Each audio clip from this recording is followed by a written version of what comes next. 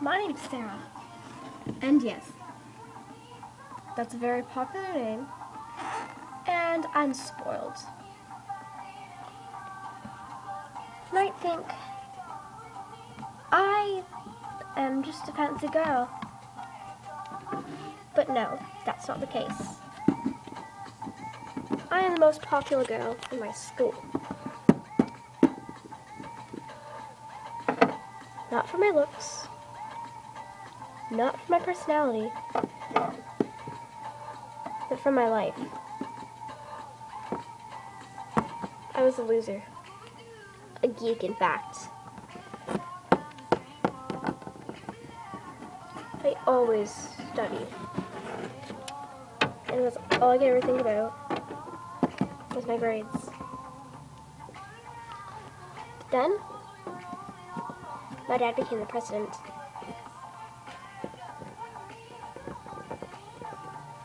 That day I went back to school.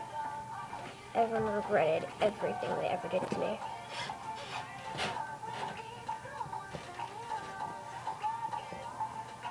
But nowadays, they all regret anything and everything they ever did to me. But of course, there's always a downfall. And everyone has an enemy. Mine. Well, her name is Kitty. Well, at least that's what her friends call her. And what I used to.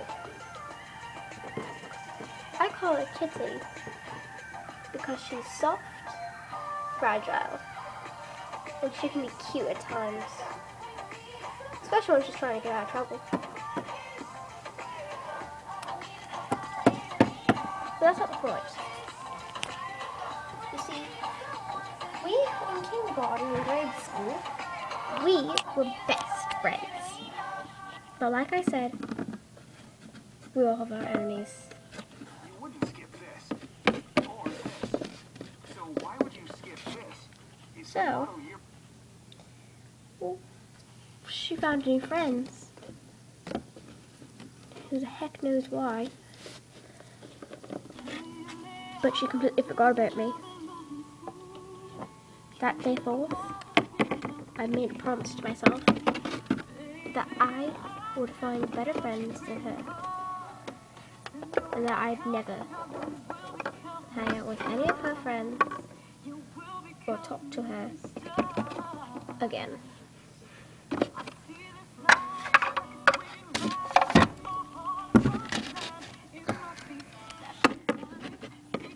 Then on, I never, ever talked to her again. But I still have my new friends. And not just the people who crowd around me because I'm popular. I actually have friends. One of them is Jenna. And one of them is Sophie. They're the only people that are actually ever there for me. And they're better friends than she ever was. My dad's never home because he has to work. But that leaves me to do whatever I want. I am spoiled rotten, as you expect, since my dad's rich and all. But that's not all.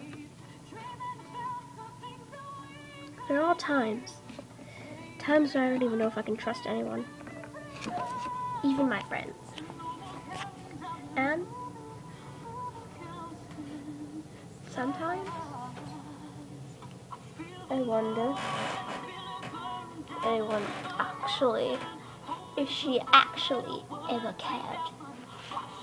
Not just about me, but my feelings. Every so often she comes.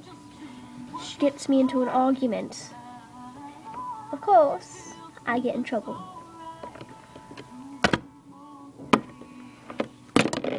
Since my dad's never home, he can't deal with it.